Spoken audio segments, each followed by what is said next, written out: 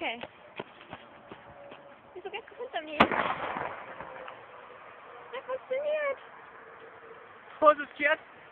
Der ist voll, voll aufs Eis geflogen.